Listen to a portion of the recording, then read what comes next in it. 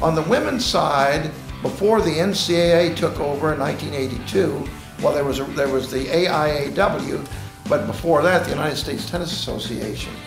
And Trinity's women captured, which would be the equivalent of the NCAA championship, a number of times.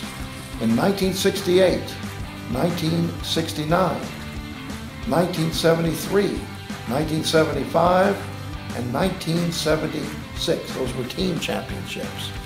Some of the more prominent players, Emily Burrer Foster, won the singles and doubles championships in 1968 and 1969. She was a very successful coach. What does it mean to play for Trinity? It, we call it being a Trinity Tiger, and they stand for tradition, integrity, growth, enthusiasm, and respect. Trinity has a long tradition of being just a good tennis team, and we have so many people that we're proud to play for, and we still play for those people who were on the first tennis team.